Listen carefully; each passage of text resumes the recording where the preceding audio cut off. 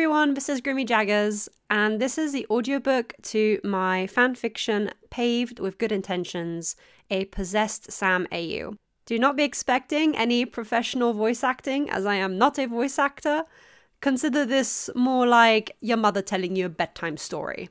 A spooky one, but a bedtime story nonetheless. Chapter 1 Denial. You work too hard. Sam inhaled sharply through his gritted teeth clenching his eyes shut as he walked briskly through the halls of the prison. His steps echoed and bounced among the empty obsidian halls, adding to the foreign noise in his head. While it was welcome, he wasn't used to it yet. All alone in here with him, and not a single thanks. Something caught in his throat as he reached the wall of lava, going about to check that his prisoner's food supply was still full. It was. Good.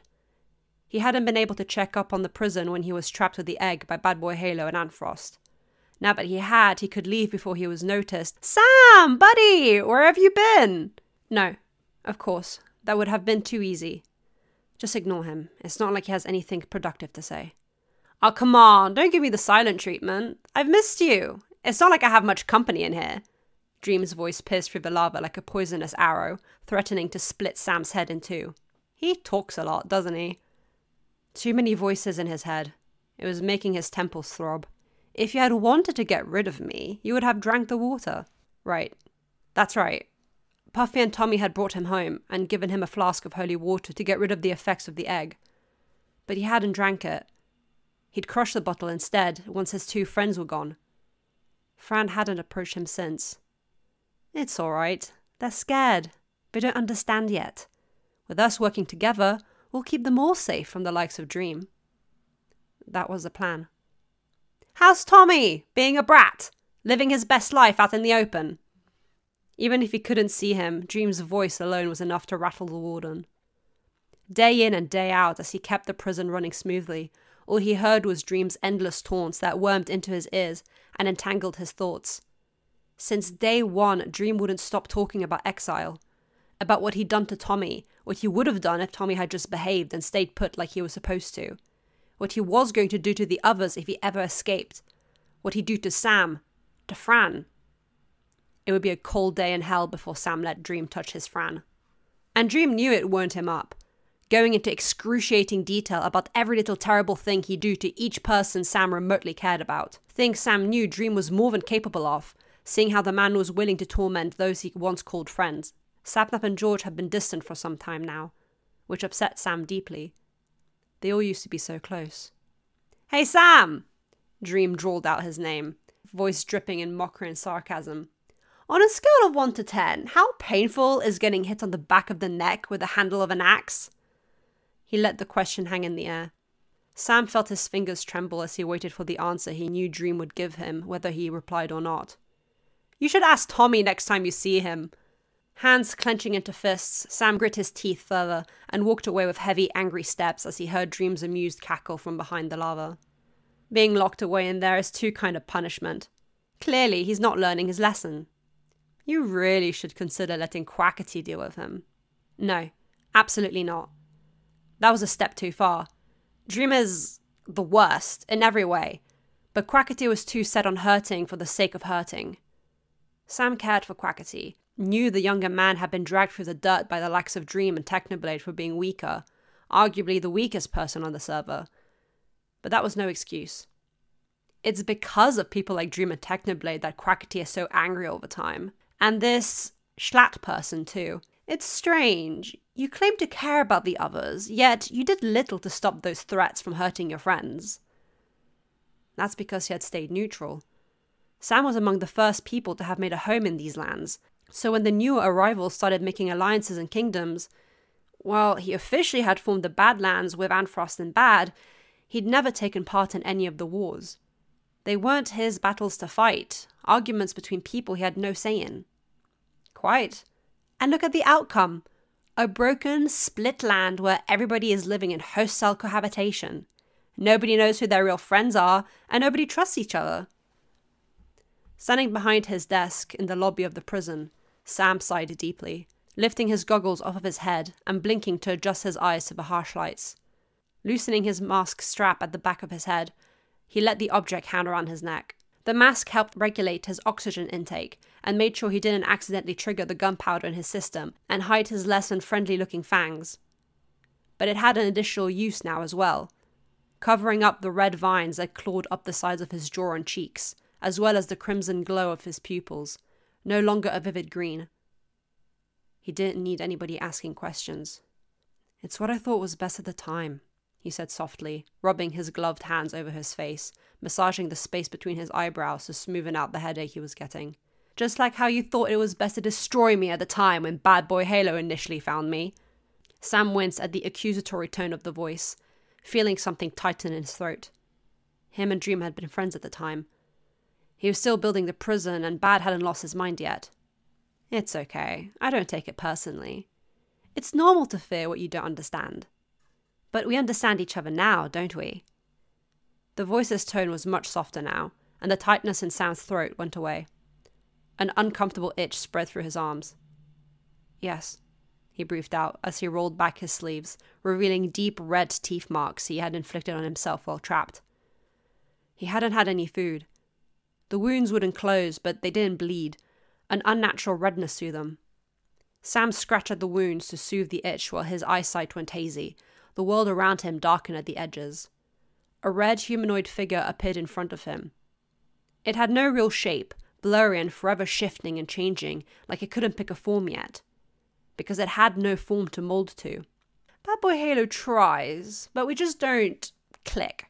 He goes about everything in such a grandiose way, while never getting to the point of it all. You, on the other hand, you do. You know what needs to be done for the good of your home. Like with Tommy and Tubbo.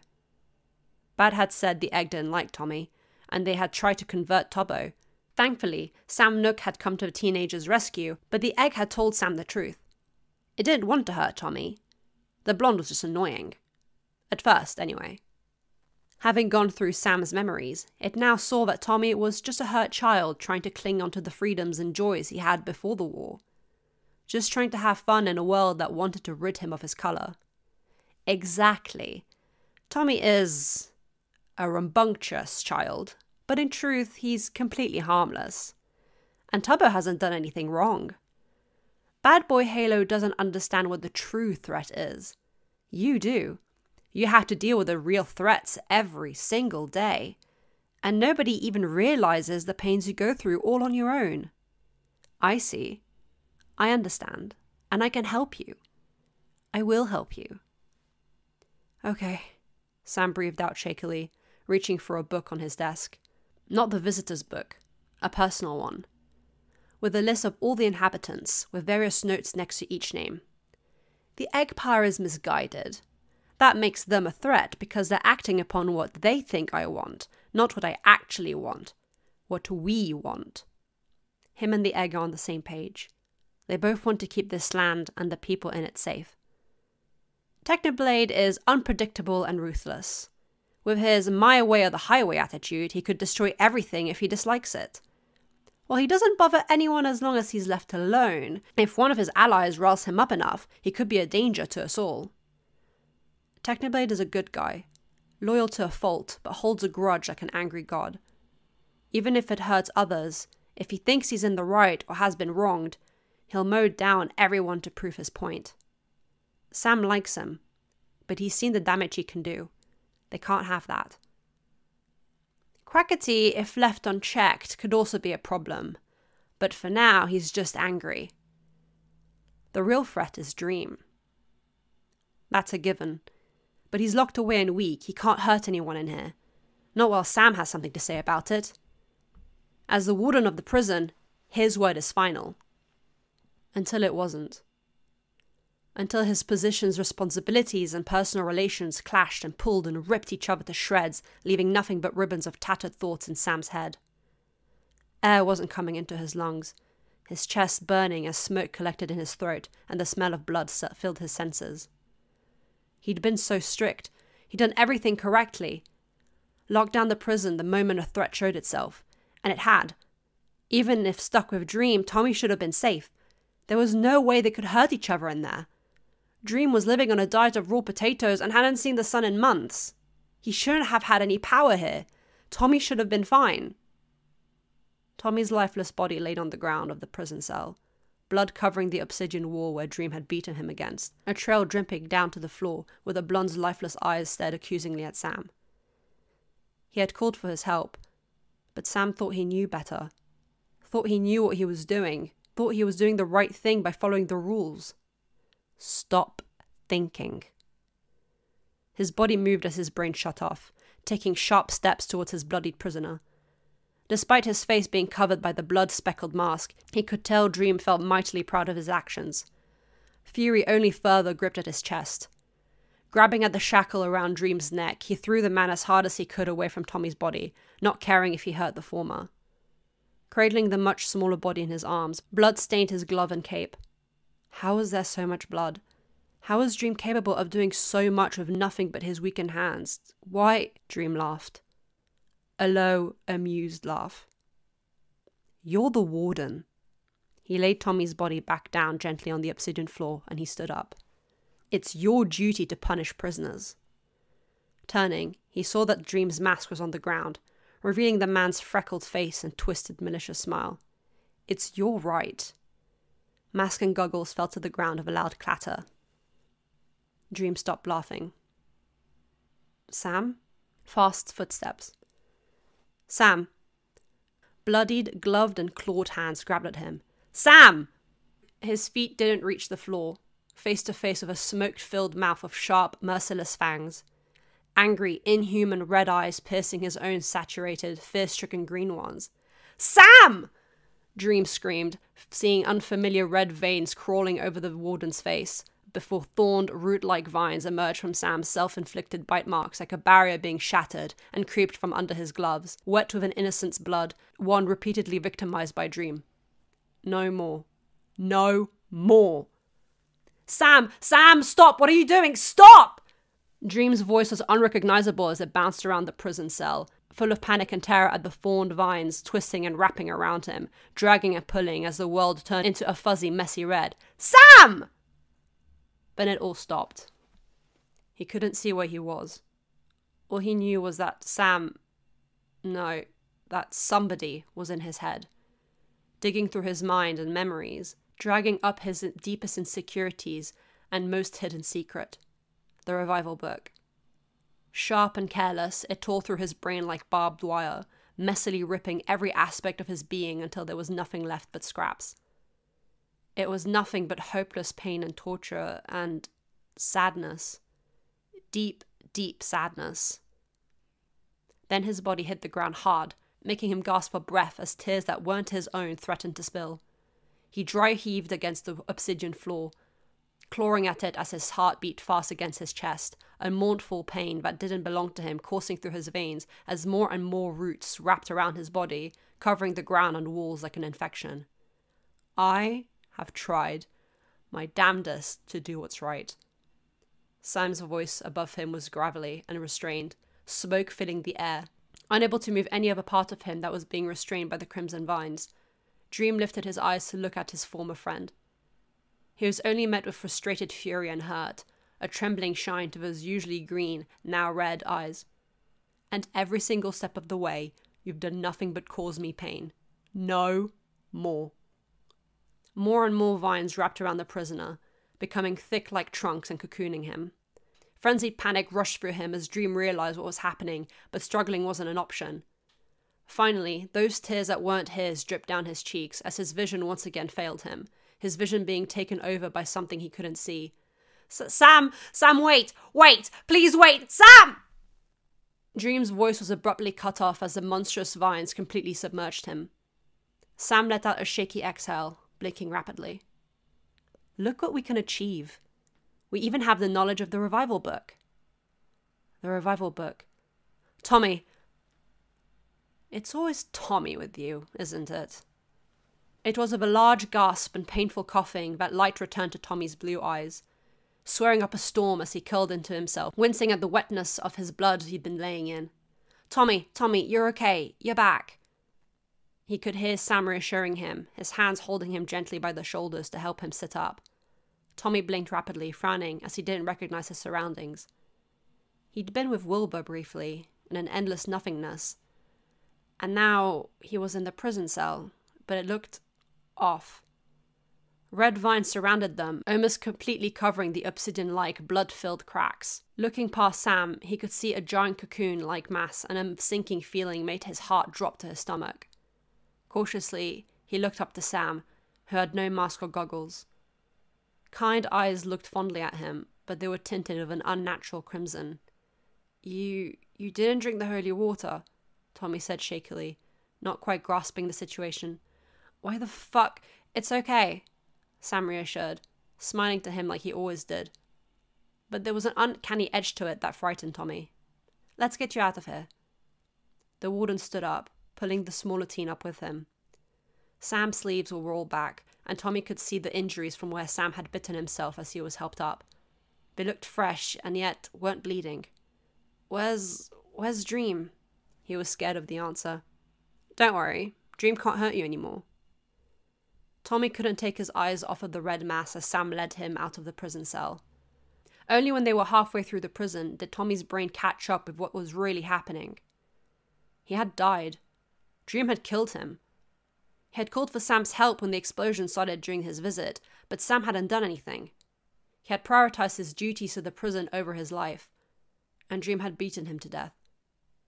Now he was alive again.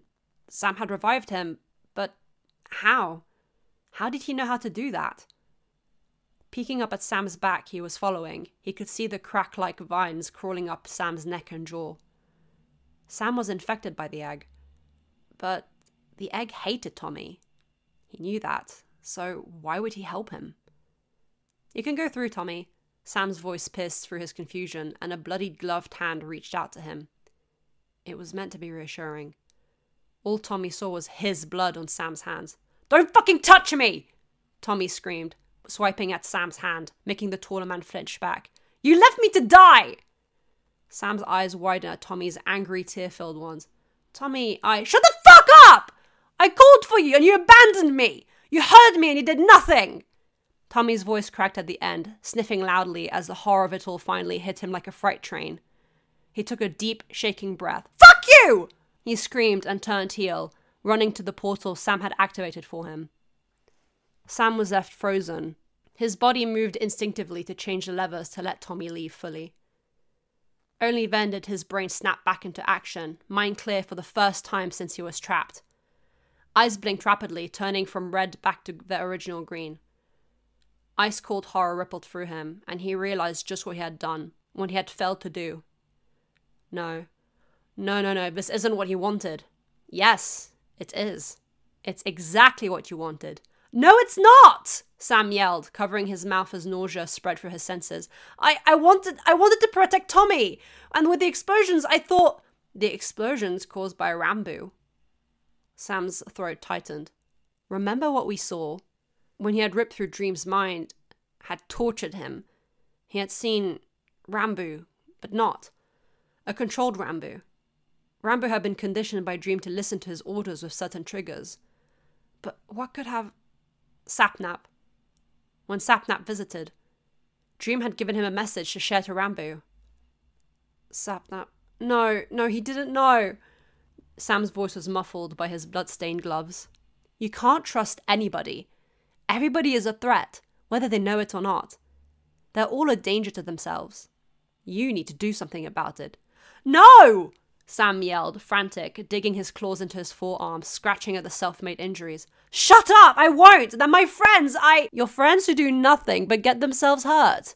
Be realistic, Sam. Left of their own devices, they will all tear each other apart. You need to keep them safe from themselves. Lock them all away for their own safety. In his heart, Sam knew that's what he truly wanted to do. But that's what he'd done to himself years ago Shut up! The scream tore from his throat so harshly it hurt. He had to get to Church Prime, get to the holy water. Smoke trailed after Sam as he ran as fast as he could down the prime path, feeling the flicker of sparks crackling in his chest. Either he gave in to his creeper nature, or he reached the holy water first. It didn't matter which. He just needed to get rid of the egg's influence. It tutted. Sam, Sam, you're too deep in this now. There's no getting rid of me. Something wrapped around his leg, and before Sam could react, his arm was trapped as well. frantically looking at what was happening, but vines from the surrounding area were moving on their own, crawling and latching onto him. He tried to struggle with all his strength, but his head felt heavy, like he was being hindered. The same treacherous vines he had used to rip Dream's mind apart crawled from his injuries and up his own arms until they wrapped around his throat. We have an agreement, Sam. You owe me. No! Sam tried to snap at the vines, tried to tear them off him, but his body itself was infected and being taken over by a force stronger than his mind. You belong to me. More and more vines creeped and piled, restraining his movement, his breathing, red creeping back into the green of his irises. The clarity he had gained after Tommy had yelled at him was disappearing again, making him sluggish. You lied to me! he accused with a choked voice. And you fell for it. A deep, echoing cackle rang through Sam's mind painfully as he lost all control of his body, mind and eyes going blank as he was dragged downwards into the unknown. You know, it's the first time I have a real form like this. Don't worry, I'll take good care of it. You should rest. You and Dream have much to share, after all. Plus, company will be joining soon. Once I've caught everybody, you'll all have a nice, eternal sleep while I take over everything. Muffled voices, yelling, and exclamations could be heard. They're holding a banquet, you know, so that I can infect the rest of the server. A cute effort, I'll give them that. Makes my life a little easier if I don't have to hunt everybody down individually using your body. Foolish! That was Puffy. Look, old friends murdering each other. It's like I said, leave them to their own devices and they'll tear each other apart. What do you say, Sam? Shall we save them from themselves? Wonderful. Huh? What's that? Those vines, they're moving. Is that Sam? This is where he's been the entire time? Sam! Sam? As he plunged into the holy water and felt the influence of the egg dissolve from him with screeching voices, foolish gasp as something flashed in his mind, eyes wide as he looked up from the depths of the water, watching the air bubbles rise above him. Sam had disappeared suddenly. He had looked for him but had found nothing. Even heading to his base, all he had found was a sad Fran, and no Sam. He'd been trapped. No. No. Worse. Sam was completely taken over. Possessed. That wasn't Sam anymore. Dragging himself out of the water, Foolish cuffed and shook his head, before making eye contact with his kids. Junior and Finley looked at him in confusion as they saw the panic in their father's eyes, not something they had seen before. He needed to build a safe house. Chapter 2 Anger. Philza panted as he ran along the prime path. In a distance, he could see blood red vines crawling over buildings and land at a terrifying pace. Before, they had appeared on occasion, out of nowhere, unexpected. But he had never seen them like hungry snakes across the ground, corrupting and staining all that came across it. He had felt something was wrong. He had for a while, but he hadn't been able to pinpoint it. When Technoblade told him this morning he had something to attend to, a dooming sensation had settled in his gut. But he trusted Techno to look after himself. However, when he heard his crows flying over his home, screaming of danger, danger, and red vines, he knew that meant something truly bad had happened. Upon seeing the devastated environment that had been lively and colourful this morning, Philza felt his wings tingle and flinch, wanting to fly as far away as he could from this place. But he couldn't with his injured wing, and until he found out what happened to his pink haired friend, he refused to leave. Avoiding the vines crawling upon the ground, he jumped onto one of the taller wooden buildings of the flap as his good wing and scoured the landscape. He didn't know what he was looking for among the crack like thorns. Until he saw it a figure walking from the opening to the egg room, where most of the vines were emerging out of. The thing turned its head left and right, looking around, before snapping its gaze straight at Philza, blood red eyes piercing the man's ancient soul. Fear like never before gripped at the blonde. What made it all the worse is that the thing looked exactly like Sam, his old friend that had forgotten him. He and Sam used to be close, who knows how many years ago but after Sam created the clone machine, they had gotten into an argument and split paths. Sam wanted to find a solution to death with the machine, but Phil had tried to show him that it would create an imbalance. They simply couldn't agree and hadn't spoken since. When Phil arrived in these lands, he had been surprised to see Sam, but realized that this Sam wasn't the original, but a clone, and didn't know who Phil was. Still, even if it wasn't the original body of his friend, seeing his likeness being corrupted and twisted by the vines like an infection disturbed him deeply. Hello, Philza. Come to stop me? It spoke. It sounded like a mocking mimicry of Sam's voice. Sam's was kind and warm, sometimes stern, but always with the softness that displayed his true personality, even as the warden. But here it sounded cold and sharp, like the blade of an executioner's axe. Who are you? What have you done with Technoblade? Phil asked, his voice tight, trying to power through the fearful emotions. Technoblade is dreaming, like all the others. As for who I am, can't you tell? It replied, face twisting into an uncanny smile. Despite it looking like Sam, so many things about it were off. Red creeped up the sides of its face to infect the veins of the creeper man's black sclera, and the usually green pupils were an inhuman, glowing crimson. A crown of vines climbed over the gold one like infectious ivy, and red dripped out from in between its fang and nose, like a sickness barely contained.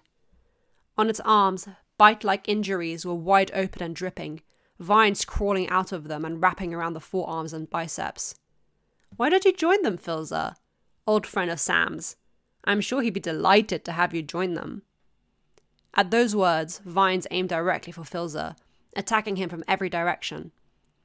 He drew his sword and sliced the ones closest to him, quickly sliding down the side of the roof to jump onto the next building, making quick work of the vines continue to come after him. It's pointless. A hiss echoed next to his ear, and as the winged man flinched in cold horror, red wrapped around his wings and arms, threatening to rip each limb off. This made him drop his sword, and as it clattered on the ground with a sharp metallic sound, red covered his vision and wrapped all around him before he could so much as scream. Then nothing. Yet, in the nothingness, Phil could sense the others. He could sense the other court inhabitants' presence, even if he couldn't see them. Memories that weren't his bounced around his skull like foggy dreams. Technoblade was here with him, trapped by the vines. As he tried to yell out for his friend, new memories flooded his skull with cut off shouts and screams. And more people could be felt in the void. Those who lived in the wider territories that hadn't been at the banquet, trapped by the vines and brought into this shared consciousness that all connected to a center, a source. Sam. Actual Sam. To Philza, Sam's clone, but to the others, the Sam they know. He was the only one he could see, and he wished he couldn't. As if melted to a throne of fleshy, spiked vines, Sam was imprisoned, Heg hanging forward as a vague red figure lingered around him. Phil tried speaking, but nothing happened. Thinking became hard. He felt so drowsy. It let out a deep sigh, steam seeping from in between its host's sharp fangs like a dragon, more of the red dripping down its nose and chin. Nearly everyone was caught. It even managed to get the silent deer and the absentee woman. The only ones it couldn't snatch were the ghosts, but it had no use for them. They belonged to, to another being anyway, one the beast had no desire to deal with. The ones remaining were the Enderman, the Goat Boy, the wannabe half god, and Tommy. Oh, once that annoying brat was trapped and silenced, all would be right in the world. It couldn't wait. Sam Nook scanned the area, frowning deeply as he tried to get rid of the vines attempting to crawl over and into the big Innit hotel where he was defending. Something was terribly wrong, but try as he might, he couldn't contact his creator. Sam was radio silent, something that had never happened before. As the vines kept returning at an unprecedented speed, Sam Nook knew they couldn't affect him. He's a machine, a soulless creation, made up only of an algorithm dedicated to protect Tommy and, and fulfilling constructions. Something beeped in his system as his whole body jolted, tail fluffing up an alarm as his ears perked up in a direction, mechanical eyes squinting. In the distance, he could see Sam, his creator? But no, no, it wasn't him. Or at least it was his body, but he wasn't in control. A terrifying aura came from the being slowly, almost leisurely, making its way down the prime path. Sam Nook! Tommy's voice pierced his focus. Tommy Innit, you should not be here. It's dangerous. His voice came out as little chitters, but that was somehow understood by everyone. What's happening? The blonde teen exclaimed, looking frantic as Vine started creeping onto the hotel again. I am unsure, but I believe the egg has taken control of Awesamdude. I can see his body in the distance, but it is not him, the robot explained. Tommy's eyes widened. Oh no. We we need to bring him to Church Prime, he screamed as the vine tried to grab him. But Sam Nook easily stabbed it with his trident, a protective, clawed hand holding Tommy by the shoulder. If Awesamdude is completely corrupted by the egg, I do not believe that will suffice. We need to bring him back in control of his body, otherwise it will reject the water's cleansing. Sam's look-alike robot said like he was reading from an instructions manual, pushing Tommy to start running away from the hotel and the endlessly growing vines. Tommy let out a small grunt of surprise as he did, before his eyes caught a figure approaching. It looked like Sam. Horror caught at his throat. What happened to him after he left the prison? He hadn't dared approach the threatening obsidian building, keeping as far away as he could, for his sanity. He thought of what he said to Sam, of the man's distraught, confused expression. An emotion Tommy couldn't describe weighed on his heart. He had to do something to help him. We need to get Fran, Tommy told Sam Nook, running in the direction of Sam's base as he said this. If Fran couldn't help bringing Sam back, nothing would.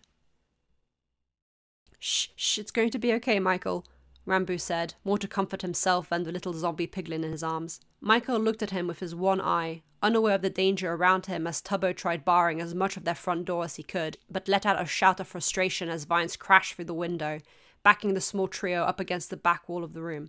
Fuck, there's no stopping them! Tubbo exclaimed, his ears flat against his head as he tried protecting the Enderman and Piglin behind him with open arms. What the hell is happening?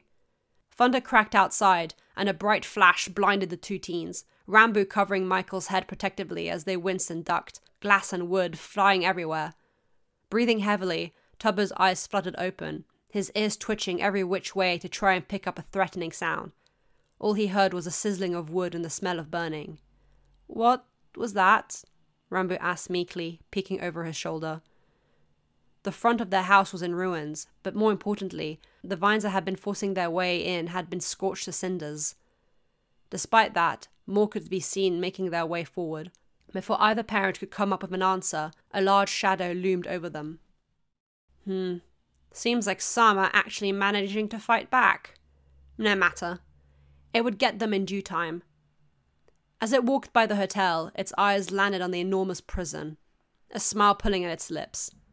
How nostalgic. That's where the first capture happened. Yes, it wasn't all that long ago, but still, how time flies. Isn't that right, Sam? Sam! A familiar voice called out. Looking up at the hill it had come from, it saw Tommy with the robot and.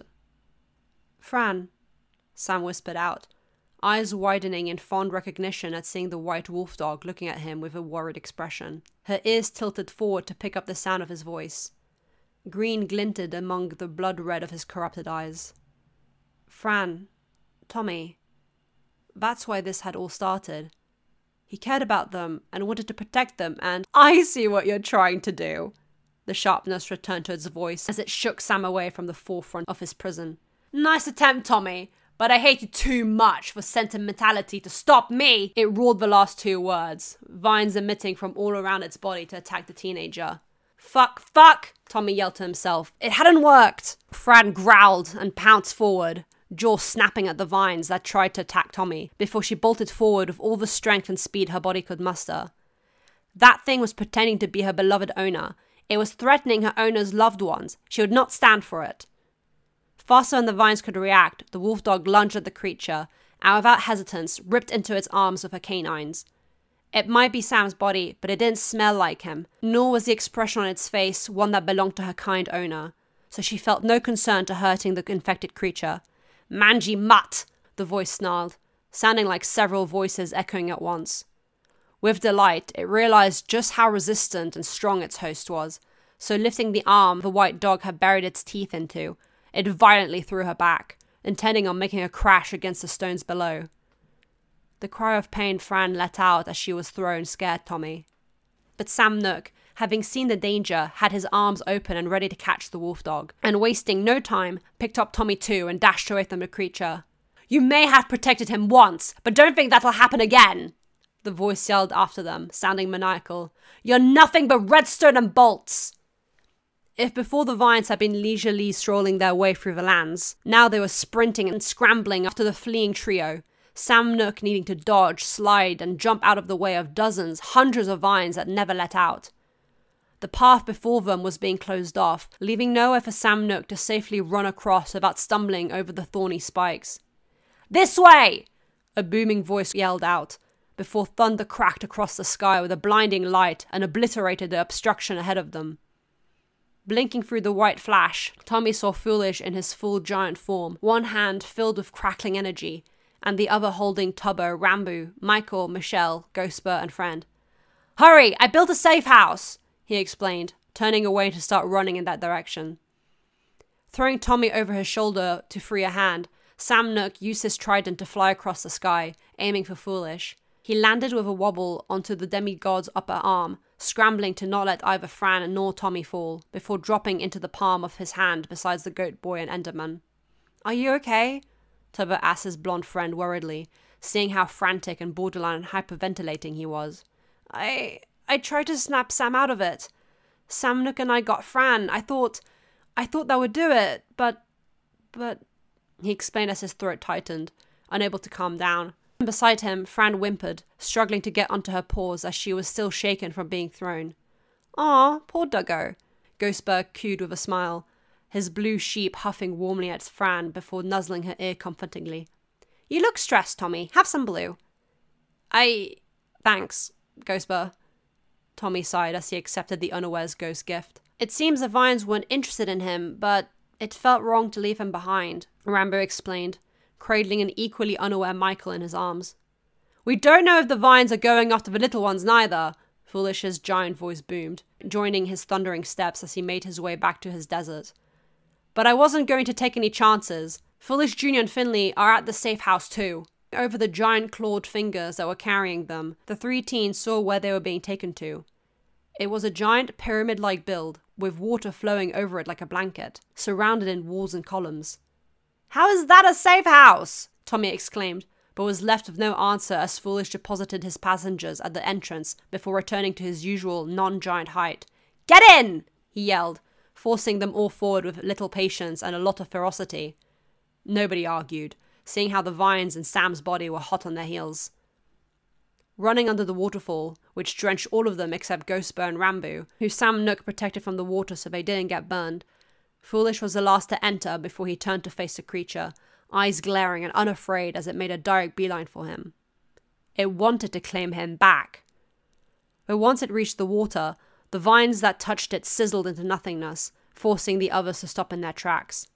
Clever, foolish, clever. The voice echoed as it used the remaining vines like steps to be face to face with the builder, before unseen heels clicking against the thorns. And in such a short amount of time, too. You truly are skilled. The remaining inhabitants could see the creature fully, behind the curtain of holy water that was their sole protection. Emerald green eyes glared furiously at the crimson glowing pupils that dared to replace his friend's vibrant green ones. Let Sam go, he growled through his shark like emerald teeth. Oh, dear, stupid, foolish. Sam's not here anymore. Chapter 3 Bargaining. What do you mean? Tommy yelled, but didn't dare step forward, staying close to Sam Nook and the others behind the protective wall of holy water cascading down. It's as I said. Sam's not here. The creature pronounced every word with gleeful venom, enjoying seeing the mixture of fear and anger in the teen's eyes. Don't act so surprised. Sam's such a well meaning guy, but he's easily influenced. He was already tearing at the seams being stuck with Dream every day. The things that man would say, oh, it makes you question if he's even human. But you know that, don't you, Tommy? Tommy swallowed, not liking being reminded of Dream's torments, nor of the fact that Egg knew about it. All Sam needed was a little push in the right direction, and he fell right into the palm of my hand. It's easy to twist a good man's thoughts when he's already broken it alone, leaving a soft hearted man like Sam in charge of a prison. None of you knew him well at all. Beneath all that sternness and discipline of the warden's facade, there's nothing but a kicked puppy who wanted to do what's right for the people. And none of you saw that. You just left him to suffer in silence. Foolish let out a growl from his throat as the creature's voice became laced in mocking amusement, tightening his hands into fists. You took advantage of him! he exclaimed loudly, the usual kindness in his tone gone as primal rage took over. Having had the voices in his head, he knew what the egg was capable of, twisting thoughts and beliefs to match what it wanted you to do, taunting you with your past that would be best left untouched. The creature smiled at Foolish, as did all of you. In all the little kindnesses he did for others, none of them have ever gone appreciated. Even with the jobs he was paid for, with Quackity and Dream and more, some part of his goodwill is being used against him. Ponk stole Fran and made him believe she had died. Tommy, he built you an entire robot just to keep you company, not to mention protect you and Tubbo. It motioned to Sam Nook, whose ears were flat against his skull. And worst of all, half of you didn't take him and his duties seriously when he did. He sacrificed his time, his sanity, and skills to keep that prison running and Dream locked up, which is bad enough, but then you all start messing with him, adding unnecessary weight to his shoulders? It glanced at Ranboo for a moment, which made the tall Enderman shrink away in fear before narrowing his eyes back on Foolish. If you're going to call me out for being a manipulative bastard, which I am, that's what I do, then maybe look at yourself as well. They all looked at each other, feeling sick in their chests. You're the egg, right? What do you want? Why do all this? Tubbo asked as Ranboo and Sam Nook started ushering Ghostbur, the pets and children, into the pyramid, away from the creature's prying eyes. Why does anybody do anything? Boredom, power, control? Pick your poison. It probably applies to me. The creature cackled, leaning back on a large vine and crossing its legs as it sat, looking very smug. I want you all trapped. Then, when I do, and you're stuck in sublime dreams, I'll feed off your memories and become powerful enough to move on to the next world, and the next, and the next, spreading around like an unwelcome virus. As it spoke, it spread its arms wide, grinning. A virus is never welcome, that's kind of the whole point, Foolish grumbled out, crossing his arms at the theatrics of the creature. It felt uncanny looking at Sam's appearance acting like this arrogant and self important, not to mention evil. Au contraire, Sam invited me right in. Didn't you, Sam? He's so tired. Everything hurt, yet he felt nothing at the same time. He couldn't move, trapped in the prison of his own mind, his memories and thoughts on display for all to see. In turn, others' minds projecting into his soul like an overwhelming movie theatre. Too many characters, too many words, too many things happening, he couldn't make any sense of it as he sat trapped on the throne of vines and flesh like substance. You just wanted to keep everybody safe, didn't you? How valiant. How stupid. You can make as much machinery and as many clones as you want. You haven't learned a thing. It was as if the creature was speaking to itself, but making a show of it for Tubbo, Tommy, and Foolish, who were still paying attention to it, as well as for the other trapped inhabitants in the void of Sam's mind. But that's all right. I'll just fulfill what we agreed on. Its red eyes snapped open from where they had closed in thought, red glare shaking Tommy to his core. I'll lock them all up to keep them safe. From others and from themselves. A wide, fang filled smile tore through its face, contorting Sam's features to the point Tubbo and Tommy had to look away, too disturbed. Let's go. Listening to it anymore won't be of use. It's just tormenting us.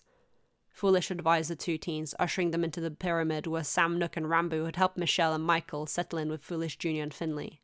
It's only torment because you don't like to hear the truth. The creature laughed, voice echoing along the water. Foolish knew the setup couldn't keep it out forever. It'll find a way in, somehow. So Foolish knew they had to be proactive and come up with a plan to get rid of the creature. Ghostbur was busying himself with reassuring the children everything would be fine, passing some blue around as Fran snuggled up to a sad Fran. She didn't have any injuries, but was severely rattled from the day's events. Foolish, what do we do? Tubbo asked, trying to hide the slight shake he felt in his voice. After all he'd been through since arriving in these lands, very little could make him afraid. But this whole mess, it was getting to him. Ranboo was trembling like a leaf, unable to keep his composure. Foolish inhaled deeply before looking at the teenagers. I need to finish setting up my plan. Sam Nook, I'm going to need your help since you have Sam's knowledge. It's not a difficult build, but I don't want to waste any time. I'm sure it's already figuring out a way to break in, but Totenim explained, heading deeper into the pyramid and leading them into a square room that felt strangely tight. It looked unfinished. Just don't let it get to you before me and Sam Nook are done here.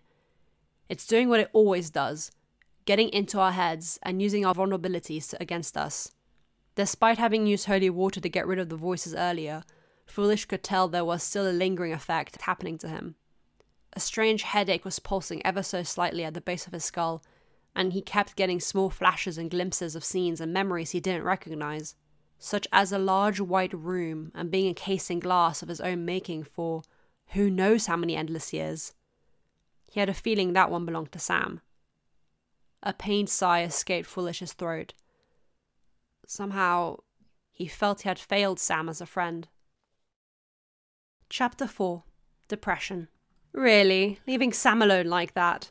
Foolish flinched, gripping his head tightly as his eye twitched painfully, thinking a bleeding heart like him could take all the burden of being the warden on his own.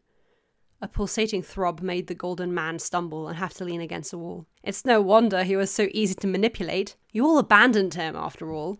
Foolish's emerald eyes snapped open, glaring at the entrance of the pyramid. Beyond that was the cascading protective wall of holy water, where, behind it, the watery figure of Sam's possessed body was smirking at him. How did Foolish get here? He thought he had been inside the chamber, showing Tommy, Tubbo, and Ranboo his plan. He dragged his claws against the wall of his build, scratching it with a piercing sound and tightening his fist. Foolish needed to ground himself. It seemed that even with the purifying of the holy water, the egg still had some effect on him. Finally, having a vessel to move around and control seemed to amplify its power, which means they had no time to waste. Any moment, this creature would find a way to break into the safe house and trap the last survivors. Sam wanted this, you know. I'm just doing what he asked. The creature taunted Foolish, bringing a clawed hand to its own chest as it spoke. Keeping you all safe is the only thing he wanted. And yet the whole lot of yous just sat by and watched as he lost his mind. It cackled at the end, holding its own head in its hands as if to cup it, before tilting it, eyes narrowing on a furious Foolish. And you dare call him a friend? How very foolish of you. Foolish wanted nothing more than to electrocute the corrupted being right in front of him, but he knew it wouldn't do anything to it. While he could destroy the vines temporarily, Foolish doubted that the thing would stand by and let itself get hit by the demigod's lightning. And really, Foolish couldn't attack something that looked like Sam. It was still Sam's body after all, and he knew that his friend had to be in there somewhere, trapped like everyone else. In the prison of his own body, Sam stirred ever so slightly and tried to argue. He wanted to tell Foolish it wasn't his fault, to not blame himself that he couldn't have known. But the vines around him tightened, keeping him from moving or saying anything. Now, now, Sam, you sit still and let me deal with this, the egg scorned lightly, as if speaking to a child. These words were said out loud, which made Foolish's angry frown only deepen, knowing that his friend was also being tormented. For a split second, a sad expression crossed Sam's features, before it twisted back to a snarling smile. Foolish knew Sam wasn't content with this. It hurt him that he hadn't been able to help someone he claimed was his friend. Well, he hadn't been able to help back then, maybe he could help now in some way. Turning heel, he rapidly walked back into the pyramid. You can't save someone if you don't truly know who they are, foolish. The egg laughed after him, before an echoing whisper buzzed in the man's ears. Not like Sam knows who he truly is. Sam couldn't save himself. Seeing Foolish angrily walk past him into the chamber, Tommy glanced around the corner to peek down the dark hallway, where the only light came from the outside world through the entrance. Just barely, he could see the blood red shape of the creature. It noticed him too.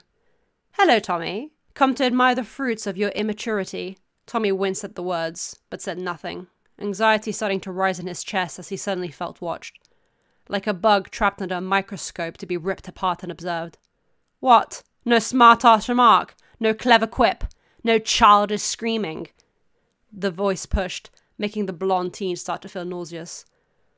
The world around him blurred, vision narrowing down only to the creature that wore Sam's features.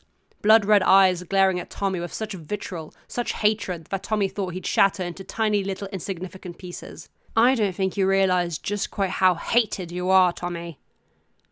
Tommy couldn't breathe. Short, sharp gasps catching at the back of his throat.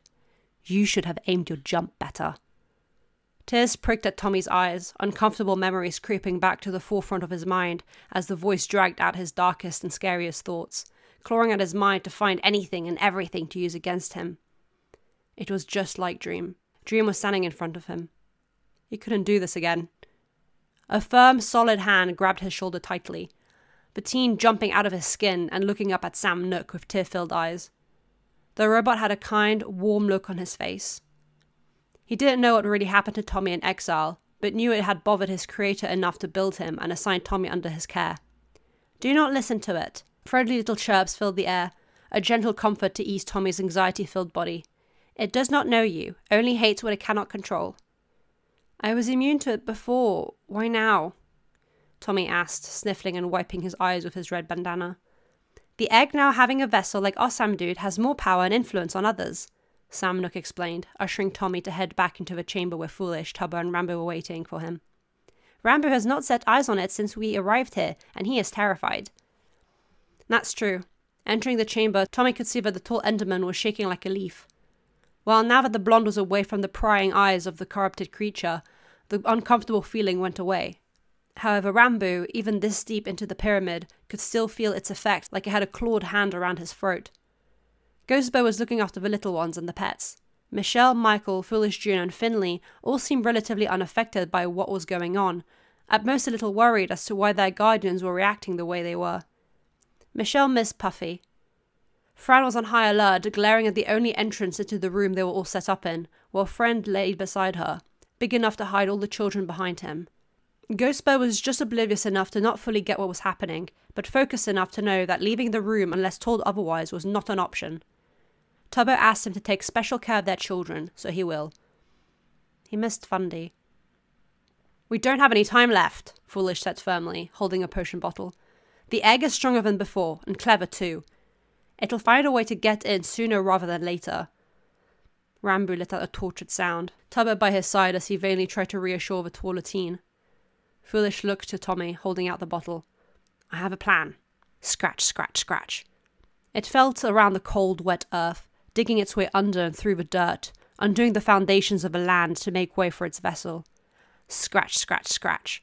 Thorned roots tore and ripped through rocks, sand, and mud, down, down, down, forward, then up, up, up, until it hit Cutstone. Crack! Snap! Ranboo! Tubbo cried out, and before vines wrapped around him as well and suspended him in midair, just out of reach of the other. Ah, go! he shouted, trying to wriggle out of the hold. Settle down. Don't give me a reason to make you cry again, goat boy. The being laughed as it raised from the crevice it just tore through the ground, cracks spreading across the floor, walls, and ceiling, only being held up by the powerful vines that had gotten stronger with every individual they trapped, and using Sam's very blood as a power source. Soon nothing would stop it. You should be thankful, Ranboo. I'm going to take away all your endless worries and tormenting memories. I mean, this is partially your fault. It taunted a tearful, scared Ranboo, the latter wide eyed and confused at the words being spoken to him. Though, maybe you don't remember. Dream found you painfully easy to control. Does setting off TNT at the prison and causing Sam to put it on lockdown ring a bell? Something clicked in Ranboo's mismatching eyes, realization and understanding spreading throughout his face before horror and guilt settled in. I. no, I. I didn't mean to he tried before getting interrupted. No, you never mean to, but you always do, being the spineless coward you are. Blood dripped from its mouth as the creature cackled at the Enderman's misery. But don't worry, by the end of this, you'll have no thoughts to think. I'll make sure to keep you safe, as Sam wanted. Beyond Tubbo and Ranboo, Blonde caught its glowing eyes, and at the end of the corridor it saw Tommy. Come here, Tommy, it said, a guttural growl emitting from its throat, inhuman. With Tommy gone, that would get rid of its biggest problem. As Tommy ran away around the corner, it pursued him, only to be ambushed by Foolish and Sam Nook. A pointless effort.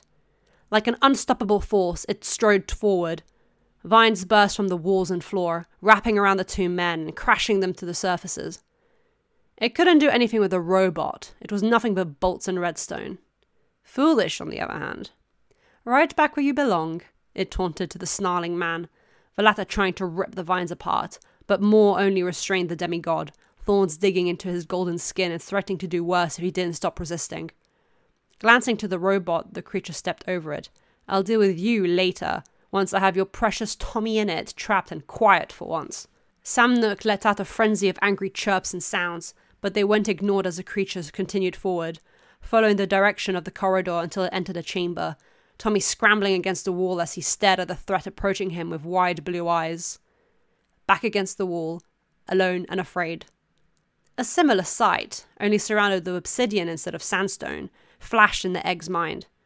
That memory was dreams, and while it would love nothing more than to tear the annoying child to bloody ribbons, it unfortunately needed him for the plan to succeed. But that didn't mean it couldn't torment him. I meant it when I said it's your fault, Tommy. It spoke, footsteps echoing of every clack of its heeled boots, slowly approaching its final target. Out of everyone else, you are Sam's only weakness. The way he spiraled after Dream killed you, it would have been kinder if Dream ripped his heart out of his chest. When that happened, it was a done deal. I finally had every last atom of his being in the palm of my hand, willing to do anything to bring you back. Tommy swallowed thickly, heart hurting in his chest as the weight of the situation crashed onto his shoulders. His hand slipped behind his back, reaching into his pocket. Instead of letting you be handed to me, Sam was trapped by his friends because he wanted to protect you. Dream drove him insane by telling him endless stories of all the ways he tormented you. Sam lost all remaining sense of self and sanity because Dream killed you. His supposed smart brain broke because he had to choose between his duties and you. Just out of arm's length, it stopped, a final click of its heels as it towered over Tommy. Red vines creeping into the room behind it, encasing Tommy into a crowded, claustrophobic space, his final prison. And you didn't even care. The whisper, said with elated cruelty, hurt Tommy more than any sword or arrow could. He did care. Had cared. But he'd been so hurt and scared and upset. Clawed hands grabbed at him. His hand curled around the potion bottle and, downing its content as he dodged the attack, dashed for a lever at the corner of the room. Whatever you do, it's useless! The creature roared. Whatever patience it had left was gone. It wanted Tommy trapped and out of its way. You have nowhere to hide, nowhere to run, and nowhere to save you. You're alone like you deserve to be. The words stung, and as he grabbed the lever, he dared spare a glance at the creature. It had a twisted, cruel mockery of the man who had been the first to visit him in exile, offering him an escape if he so wished. He hadn't taken the offer at the time, too set on going home, or maybe too scared of disobeying Dream. He hoped Foolish was right. He hoped this would free Sam and everyone else. Pulling on the lever with all his strength, two things happened. The only entrance to the chamber slammed shut with a heavy stone door that crushed the thick vines, and holy water started gushing from the ceiling, coming from the source at the top of the pyramid. Red eyes widening in realization at the trap, it let out a furious pain roar as the water filled the room, crowding at its feet and only raising. Red tainted the water like unnaturally crimson blood, while a burning sensation shot through the possessed body's system, causing it to tremor and shake from pain. Stupid, annoying little fucking brat! Always getting in my way, mocking me! A fucking child nuisance that knows only how to leech off others! It rambled, clawing at its own chest and throat before its eyes settled onto Tommy. I abhor you! It roared at Tommy, with all the hysteria of a dying, cornered animal. Tommy let out a cry as he stumbled backwards, water splashing around him as he fell, truly and well cornered with a creature that wanted nothing more than to turn him into a forgotten memory claws and red dripping fans flashing in front of him, and Tommy curled in on himself, awaiting pain. But nothing happened. Only the sound of running water and frustrated growls of effort through gritted teeth rang in his ears. Peeking from behind his arms, he saw the monster, a hair's breadth away from him. It groaned and growled, fighting against an unseeable force as it desperately tried to grab at the blonde, a murderous look in its eyes. But deeper than that, a green glimmer.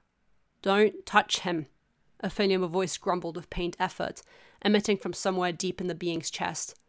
Like it was being pulled away, the Sam like creature stepped back, unnatural, stiff, and sudden twitchy movements forcing it to return to the middle of the room as the water reached thigh level. the holy water was having the wanted effect. It had only given him an inch of freedom to work with, but Sam took it and was now ripping at the tendrils in his mind, keeping him trapped. With all the ferocity of a dying man who had no care for his own well being, Sam snapped and pulled at the red fleshy threads, fighting against the controlling power that forced him into the depths of his own mind. That's enough, no more, Sam growled, barely above a whisper, exhaustion contaminating his bones. But he had to push against it. Stop! The creature roared, gripping at its head, feeling its control over its host weakening as the man pushed against it. I've completely taken over your body! If I disappear, it'll use up all your lives! You'll die! It tried in vain to make Sam listen. Maybe if it could regain even some control, it could still break out. Stupid Tommy, its hatred towards him had wasted its precious escape time. I don't care! Sam shouted, finally ridding his throat of the thorn vines that kept him silent. I won't let you use my body to hurt Tommy! Sam? Tommy cried out to the man, water now rising to halfway up his chest. For a moment, green eyes flashed, and Sam looked at Tommy, a soft, sad expression on his face. I'm so sorry, Tommy, he whispered out, before his expression twisted and it roared in pain and anger, screwing its eyes shut as it struggled against the original owner of the body. The water filled the room up completely. Thanks to the potion of water breathing Foolish had given him, Tommy would be fine, able to see in the water even with his eyes open. There, he could see Sam's body twisting and twitching, the vines dissolving into nothing as the holy water turned from a pristine blue to a murky, bloody red. In his mind, the egg screamed, yelled, and cursed, rattling the skulls of all the trapped inhabitants. The figure that had stolen his image started blurring and losing shape as Sam kept a tight hold on it. He wouldn't let it infect anybody else. Finally, after a dreadfully long minute of suffocating in the water, the creature let out a terrifying, ear splitting howl of pain and despair. All of the remaining tendrils and blotchy veins dissipated off of Sam's body, the green hue returning to his skin, markings, hair, and eyes. And then his body was gone too. Set on a timer, a couple minutes passed before blocks clicked around the room and drained the water. A very Sam inspired contraption that Tommy was sure Foolish had learned from the redstone user. As the water drained, Tommy was left dripping wet and alone, sitting on the ground against the wall. He didn't know when he'd started crying, the holy water mixing with the tears dripping down his cheeks and chin, but he openly sobbed. Chapter 5 Acceptance Blinking rapidly as they were blinded by the bright blue sky, Punk and Puffy finally made it out to the surface. Behind them, various of the others followed too, some grunts of complaint as they stepped over wilting vines and oddly placed stones. Removing his mask, Punk scratched for his scalp aggressively with both hands before taking in a deep breath of fresh air then proceeded to cough violently. Punk! Puffy! An excited voice called out to them, and before the two could react, Foolish was bear hugging them simultaneously. You're okay! Define okay! Punk wheezed, but smiled when he saw that Foolish Jr. and Finley were propped up on Foolish's shoulders, grinning widely at him with their little sharp emerald teeth. Quick, light steps were heard getting closer, and Puffy saw Michelle running towards her. Mama!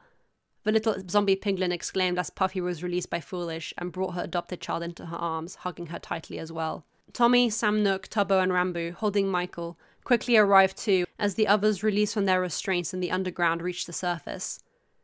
They all started checking on each other, looking for injuries or new scars, but found nothing.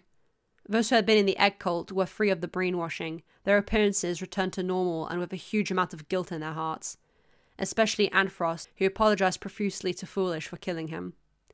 Quackity, George! Sapnap's voice echoed along the prime path, and the two men looked at him running towards them, followed by Karl Jacobs.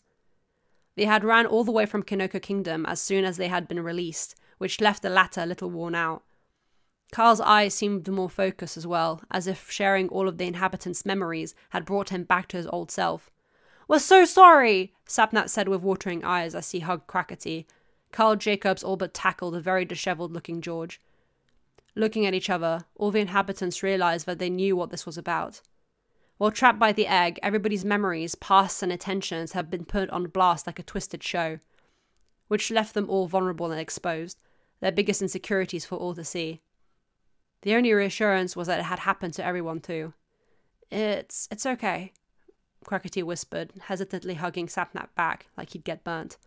I'm sorry I thought you abandoned me. Skeppy, Jack Manifold, Connor, Callahan, and Alyssa soon appeared from their own various directions, joining them. Skeppy almost toppled Bad over in a hug, and Nikki ran to Jack with happy tears in her eyes. Chatter filled the air as old grudges were aired. Meek, embarrassed apologies were said to those who needed to hear it. It all felt very awkward, as nobody knew what to do now. All their spats and grievances felt almost meaningless after what they had all just experienced. Those who had lost memories had regained them, leaving Eret to be comforted by Foolish, the latter of who reassured them everything was going to be alright. Ranboo, despite only having been trapped by the egg for a very short time, had still gotten some of his memories clawed back to the forefront of his mind. He could have felt lost if not for Michael in his arms grounding him, and Tubbo keeping a gentle hand on his elbow. They could all deal with their revelations later. For now, everybody needed to collect themselves and decide what to do next. Quackity stepped up to Technoblade, a humiliated pink tint to his cheeks. There was a lot of bad blood between the two misunderstandings, assumptions. It had all led to a lot of hurt and pain. Techno, I'm. Quackity started, but he was interrupted. Nah, I get it. The crowned man waved off. Let's skip the melodramatic apologies. We both know we're not good at that. Quackity let out a small breath of amused relief, seeing a humorous grin on his former enemy's face. They'd probably never be close friends, but now that they understood how the other worked, their pain, their experiences, there was a silent understanding that said they could get along. As Quackity went to speak to Eret and Foolish about what they should do about the vines, Techno looked to Phil. The two had already checked up on each other, and now he saw a distant, determined look in the winged man's eyes. Techno, there's something I have to do, he said, and turned heel, running in the direction back to his and Techno's home. Phil? Techno called out confusedly, running after the older man. Neither noticed Ghostbur trying to talk to them. A sad feeling entered his chest, but as usual, he tried to push it away. He heard a long sigh coming from the white wolf dog beside him. Fran had her head bowed low, looking longingly at the various groups of people talking, reigniting friendships. Fran tried to reassuringly nuzzle her. Everybody had each other again, old friendships renewed, family reunited, and Sam wasn't here. A cold sensation patted the top of her head, and she glanced to Ghostbur. The desaturated ghost smiled sweetly, if a little sadly, at her. The bad feelings weren't nice, but it hurt more seeing someone as lovely as Fran being sad. I don't have any more blue. Sorry, Fran, he said tenderly, planning on getting more for the dog. Fran sighed again and leaned into the friendly petting she was getting, even if it was cold. Her eyes glanced to Fundy as he meekly walked towards the ghost of his father. Phil, where are you going? Techno asked, all the more confused as Phil gathered food, potions, weapons, and armor and preparing his strongest horse for what looked to be a long journey ahead. I'm going to find Sam, Phil said as he got into the saddle and looked at his friend. I know where he is. I went to visit him some time ago. After all this, I want to help him. Properly. How many years had he put off helping those he was meant to care about? Techno stared at him for a while, before huffing heavily through his nose and making quick work of prepping Carl for the journey too. I'm coming with you, he said, with no room to argue. Not that Phil would ever argue about going travelling with Techno. It's going to take a few months, Phil warned. Techno sat in the saddle and joined his winged friend's side, grinning cockily at him. What's a few months to immortals? He joked, gaining an exasperated smile from the blonde. You're not actually immortal, though, he replied with a small laugh, before encouraging his horse into a fast gallop.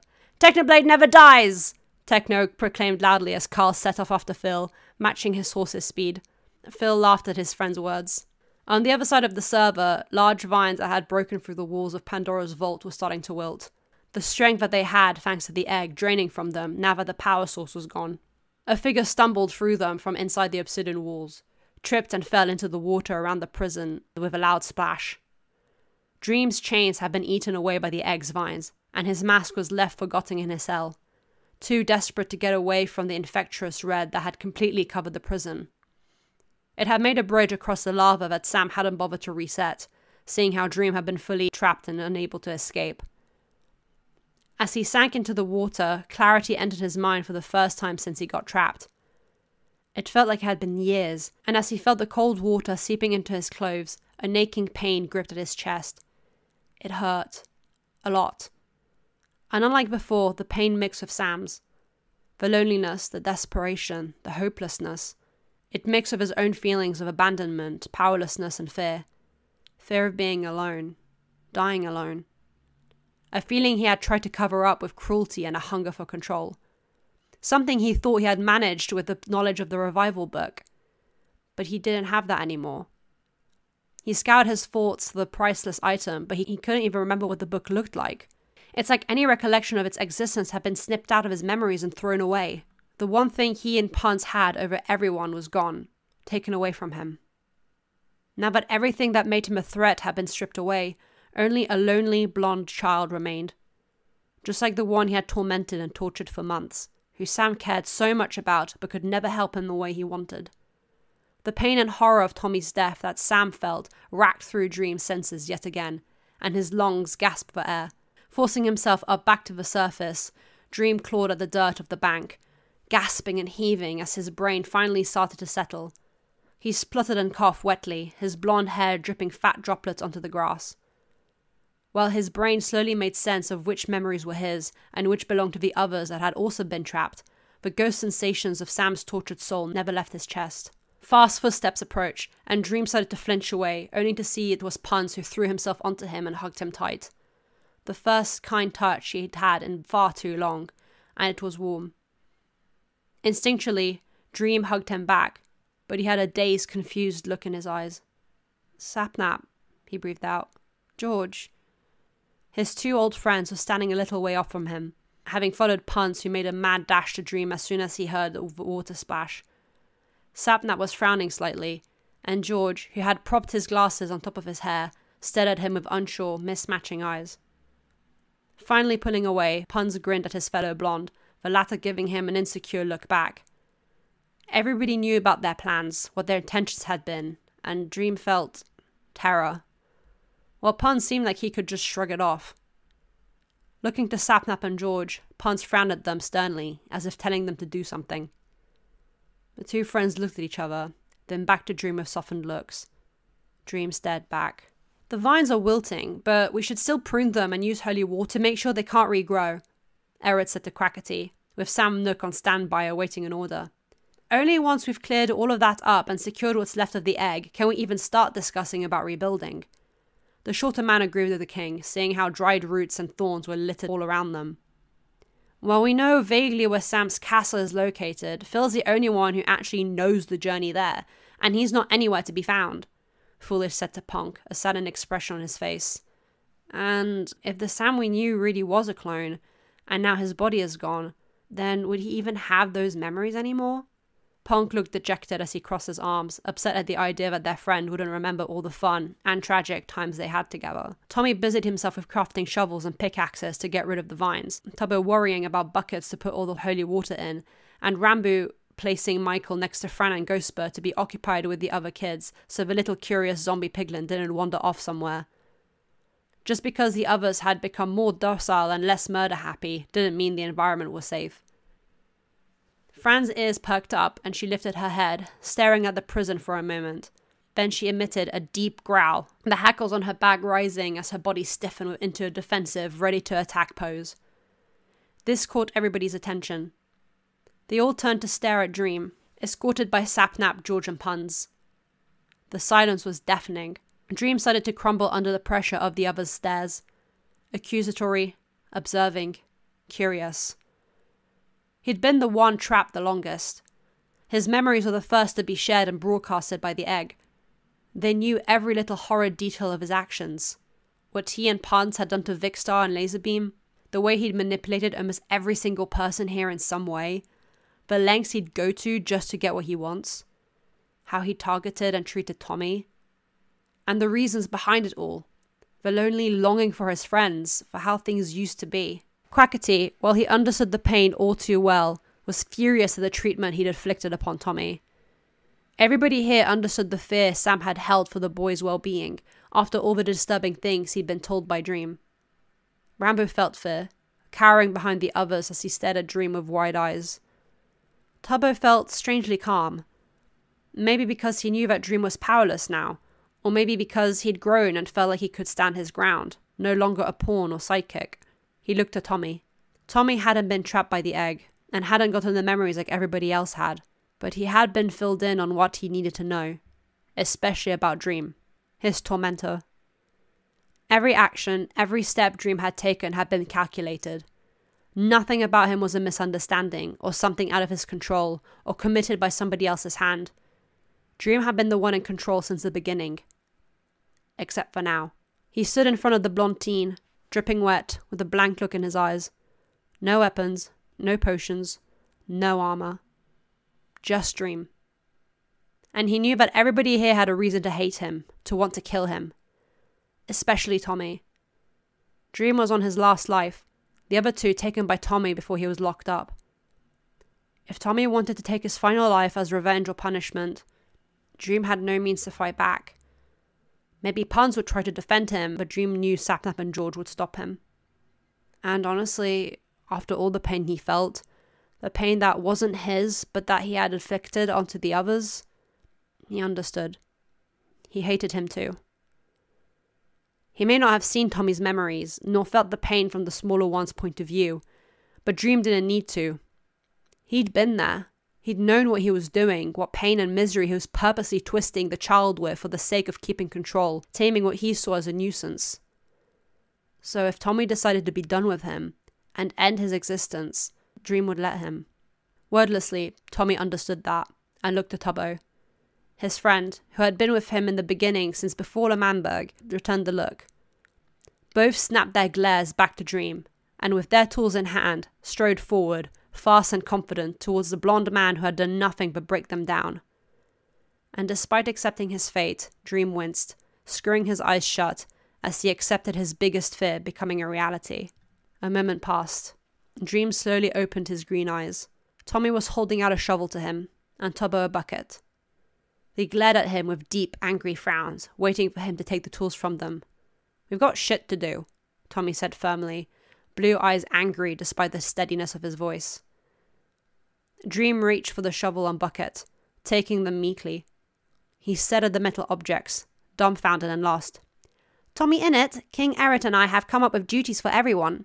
Sam Nook's chirping sounds broke through the silence the robot's raccoon tail wagging rather happily as he brought the written plans to his protege. Tommy and Tubbo turned to the robot with big grins as they started delegating various duties and responsibilities to the other inhabitants. They all joined in on discussing who should do what, where each person should start, where to report back to on the progress, and how Sam Nook would be the one to deal with the remains of the egg directly. Dream watched, left standing like a lemon with a shovel and bucket in his hands. Everybody started going off in their various directions, and he just stood there, not knowing what to do. He saw Sapnap and George heading up the prime path to the community house. Like a lost puppy, Dream followed them, not knowing what else to do with himself. Punz was busying himself with getting tools. Thorns and vines that were turning a murky, lifeless maroon due to their power source being gone covered the community house. Sapnap and George felt personally responsible to look after it and getting it to look spotless again. While it wasn't the original one they had built, it was still a nostalgic building to them, and after everything, it felt right to take care of it. So, you talk to God? Neat. Sapnap started awkwardly, fighting against a particularly thick root. How come he didn't come save you? I'm not sure. DreamXD isn't easy to understand, his friend replied, himself making attempt on some of the drying vines. Maybe it's because he needs to be summoned first? Kind of like how a vampire can't enter your home unless invited. George interrupted himself as he noticed Dream arriving. The freckled man looked at his old friends warily, expecting to be rightfully told to fuck off.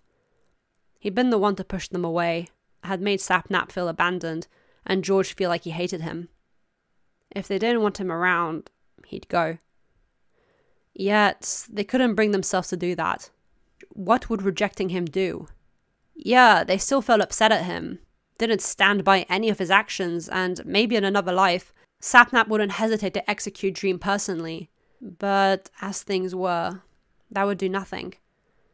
Leaning over the side of the building, Sapnap made a motion for him to climb up as well, before helping George, who was flailing his legs pathetically. Relief washed over Dream, and for the first time since he'd been trapped by the egg, a small smile graced his face.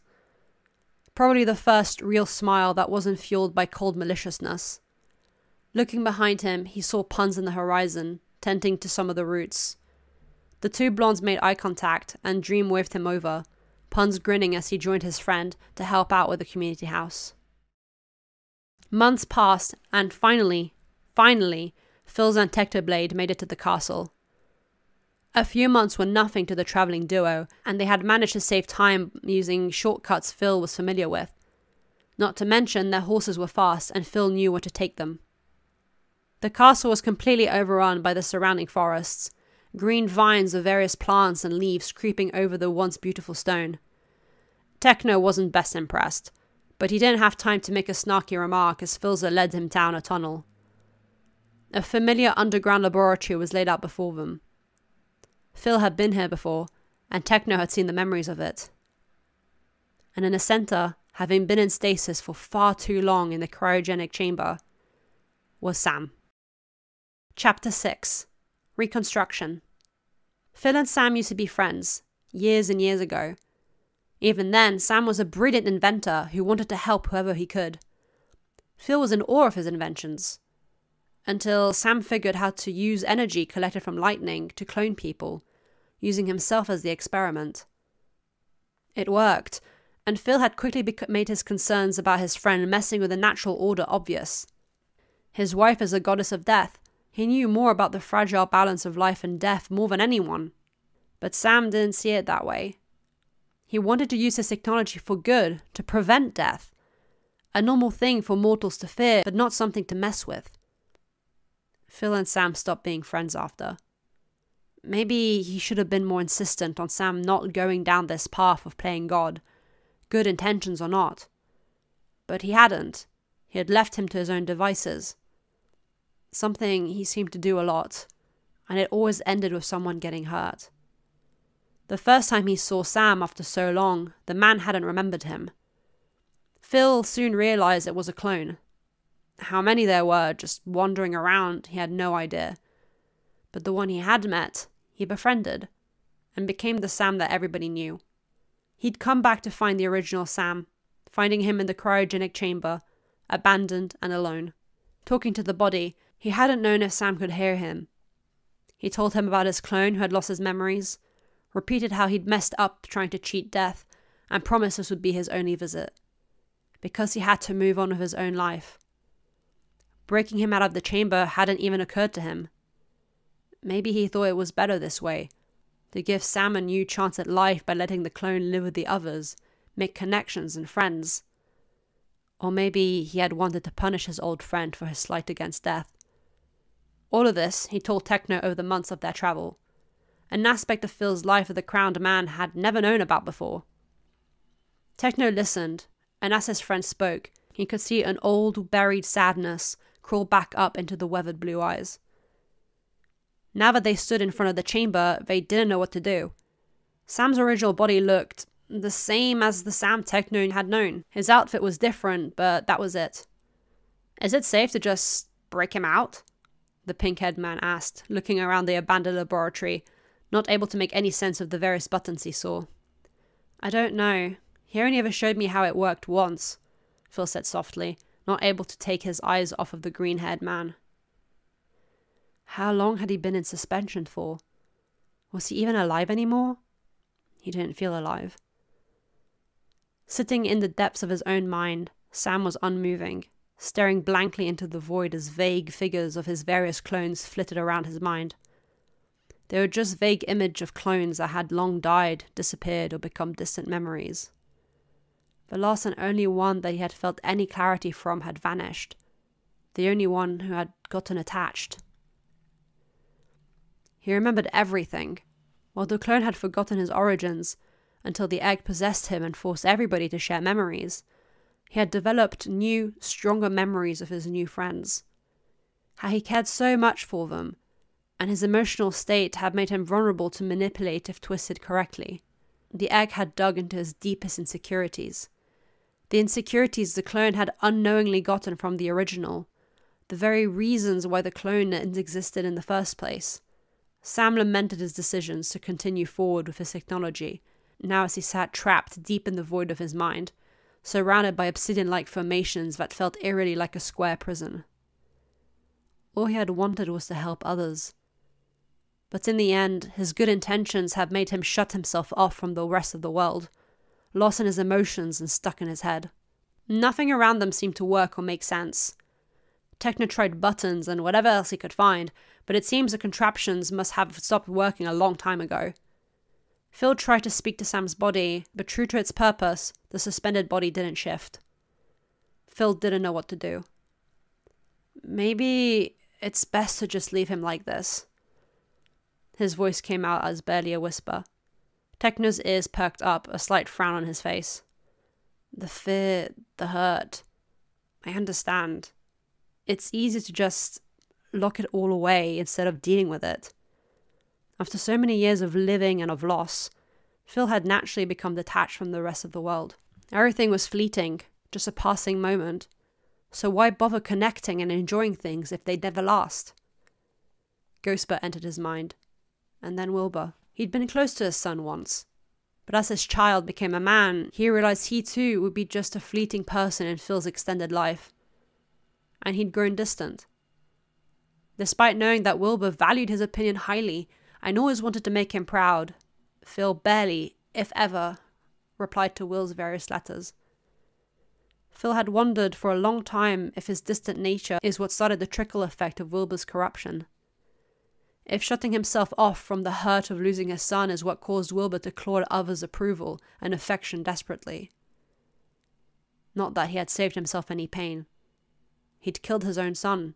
The fact Will had begged him to didn't change the fact that it hurt. That hurt turned to bitterness, then to anger, and Phil ended up destroying what his son had built. Ghostbur had cried. And Phil had just hurt her son all over again. A vicious cycle of trying to ease one's own suffering that only led to more suffering. As Phil looked at Sam's suspended body, maybe it was best to save him the trouble. Sure. Techno's voice snapped Phil out of his thoughts. Yeah, sure, it is easier.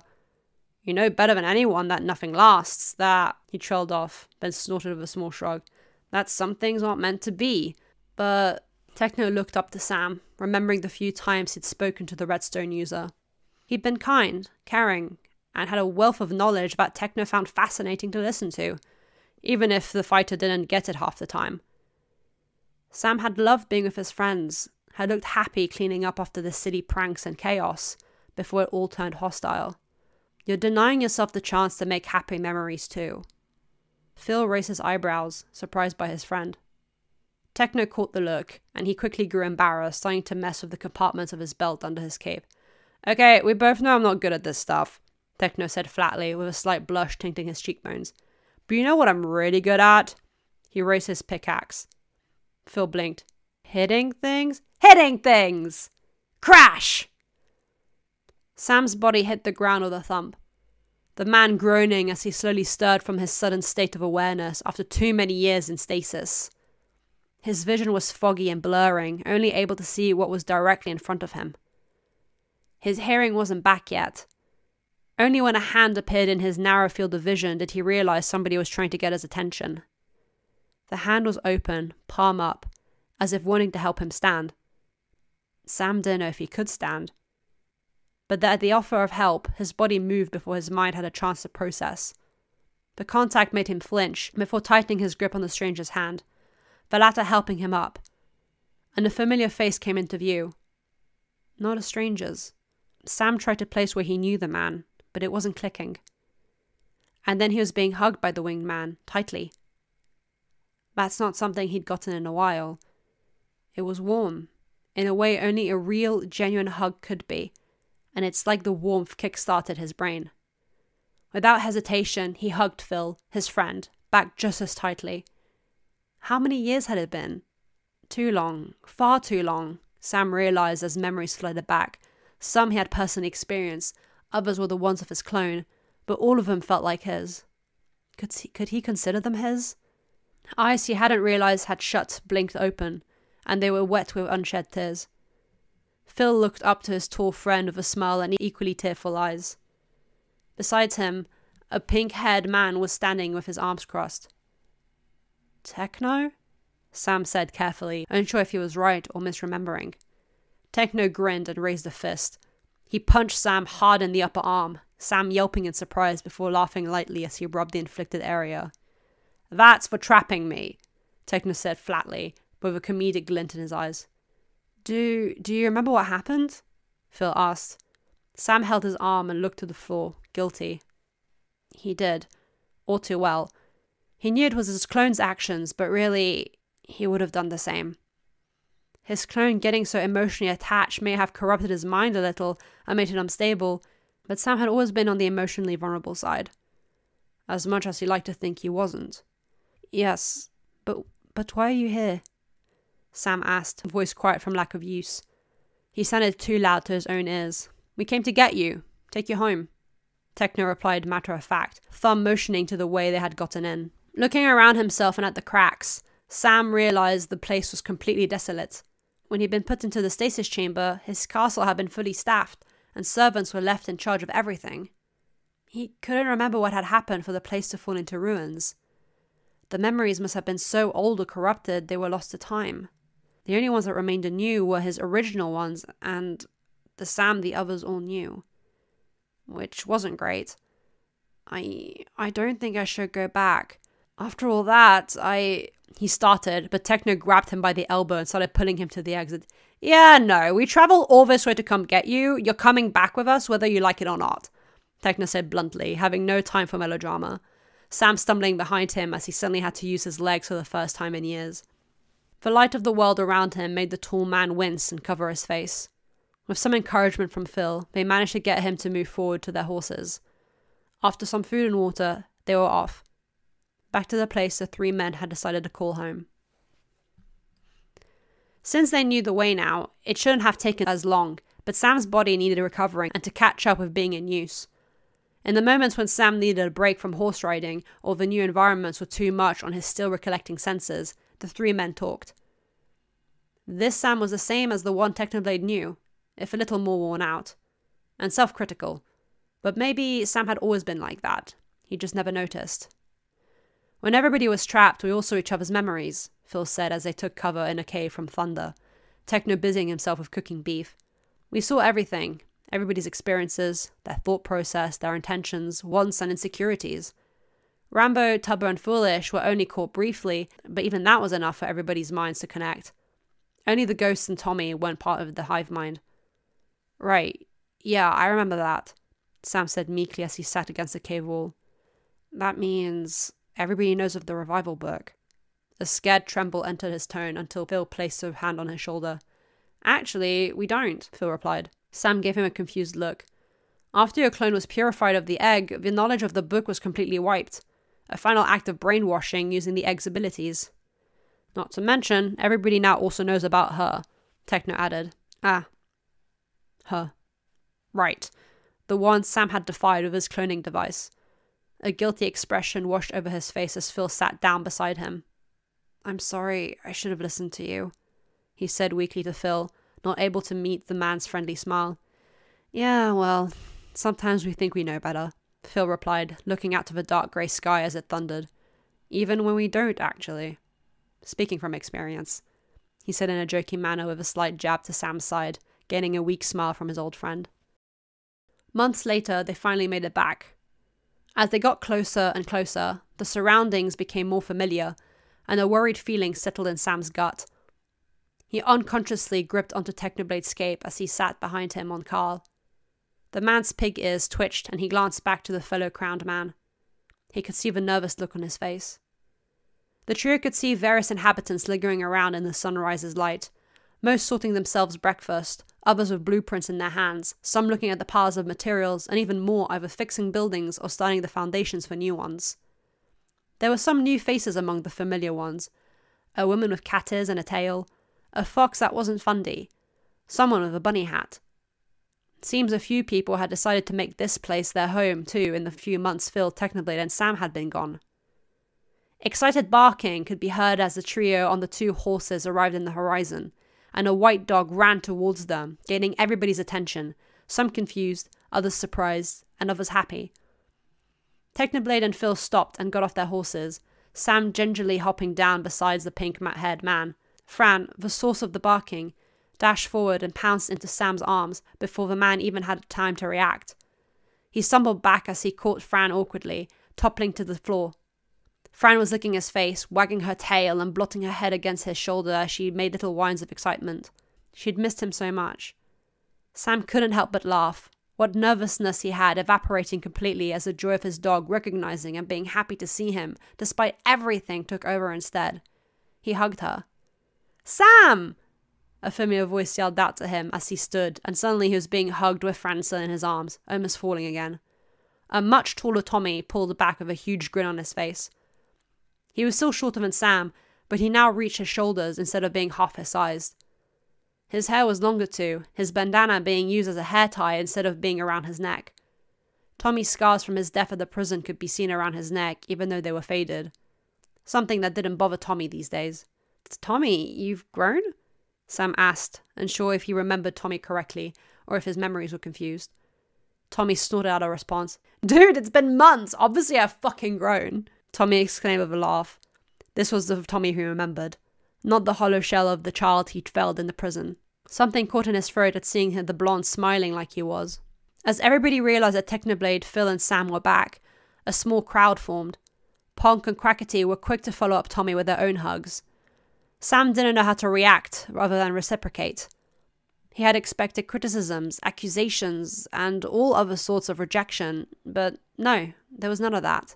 It's good you're back. Maybe you can help me with blueprints, Foolish said as he pushed through the crowd, because they're absolutely hopeless. I'm not that bad, Ponk argued, being very proud of his supreme fridge. Hopeless, Foolish emphasized, gaining a huff and eye roll from his friend. Thanks for everything, Foolish, I don't. Things would have been terrible without you, Sam said meekly, looking to the ground as he dared to bring up what happened. We can talk about all of that when you've settled, Foolish brushed off. Everybody here had already spoken and come to their individual understandings of everything that had occurred. They knew Sam, as the host used to commit all the hurt by the egg, would be the one to take the longest to come round to it all. Foolish stepped out of the way to let another familiar blonde walk up. No mask, with his green hoodie tied around his waist, and looking more nervous than Sam had felt previously. Dream rubbed his upper arm. He wasn't smiling, green eyes looking at Sam and Shirley. The two stared at each other. There was a lot of bad blood between the two, and everybody knew that. Honestly, they all had something to hold against Dream, and these last few months hadn't been easy for anyone. Despite everybody knowing almost everything about each other now, the hurt and pain that had been caused still lingered, and Dream had caused a lot of that to everyone. To Tubbo, Ranboo, and especially to Tommy, and a lot to Sam. Forgiven is a strong word, and a lot of them hadn't fully forgiven Dream. Quackity and Jack were still incredibly wary of him and kept a close eye on his actions, but they weren't hostile. And Dream understood why they acted this way. As the former prisoner and warden stared, the latter offered a small smile. Hi, he said dumbly.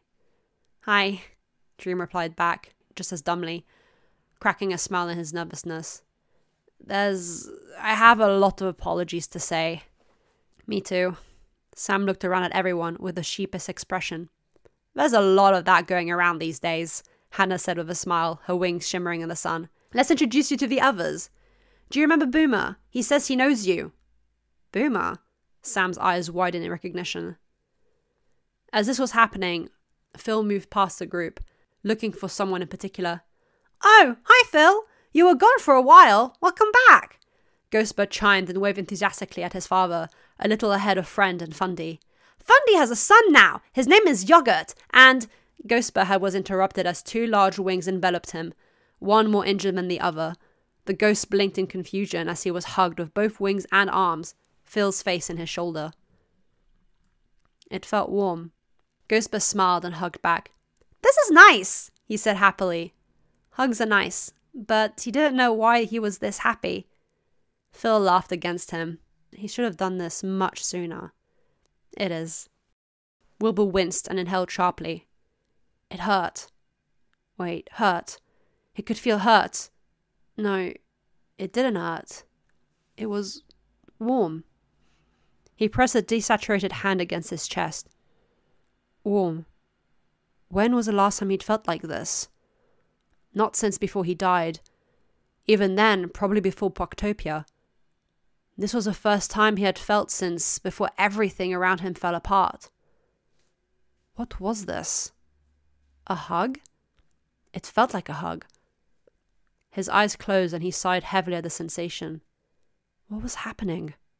Wilbur jumped and stared wide eyed in confusion as the fabric of his limbo was torn apart like flimsy paper. The grey of the abandoned train station dripped away like watercolour as a vast dark purple sky ripped through the misery, pink and white stars glittering. A tall figure with water like hair smiled down at him. She had finally been able to find him. Hello, my heart. The vines were gone. The egg had long been trapped in layers of obsidian and reburied, warning signs everywhere about never letting it free ever again. The whole area surrounded in holy water. Destroying it seemed dangerous, in case something was inside of it, and everybody preferred to not risk it. After clearing up the vines and roots, a mysterious underground maze and home were found, along with notes and books. And buckets. Lots of buckets. Seems they hadn't been the first one to deal with the egg before here. Definitely not based on Karl's memories of his time travel. Connor, just ask Foolish to help you build a new house. Stop appropriating others' homes. Eret sighed, rubbing a hand over his face at the hedgehog man. Tommy's going to throw a fit if he finds you squatting in Shroud's enclosure again. It's cozy, though, he said sheepishly. Eret groaned. I get that this is the material you want to use, but it's going to clash with the dark oak. Don't roll your eyes at me! Puffy exclaimed, shoving her blueprints into Skeppy's face, who spluttered. I don't have pupils! How would you even know if I did? He yelled defensively, arms flailing. I can tell! The pirate argued back, a flustered Bad trying to calm the two down. Wait, so Ghostbur said all the other ghosts have left? Karl Jacobs asked with a raised eyebrow to Ranboo. Seems so, Apparently, he can leave as well if he wants to, but he says he wanted to stick around here. The Enderman replied to his fellow traveller, the two men glad to have their memories intact, finally. He didn't go into specifics, but Phil seemed to understand.